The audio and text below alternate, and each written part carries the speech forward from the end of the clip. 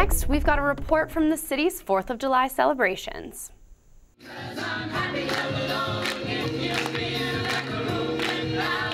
On July 3rd, the city of Somerville got together at Trum Field for the 4th of July celebration.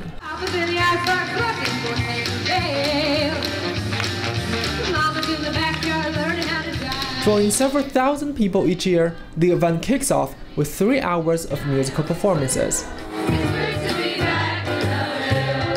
I actually like the music. I think that's been lost a little in recent years. The fireworks are great, uh, but over the years, uh, the Boston Pops used to be very famous for having a lot of great classical music and pop music. I think we've kind of lost that. Nice to have the Navy Band here in Somerville because the Navy Band does play a really good quality music.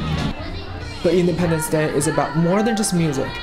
It means partly a celebration, but uh, those of us who uh, have had members of our family who in the service, both my mother, who was an officer in the Coast Guard, and my father was in the Navy, uh, were World War II generation. And uh, though I didn't have the opportunity to serve, the sense of respect for service is, I think, an important one, sometimes lost a little bit. For kids, the event is about being happy and having fun.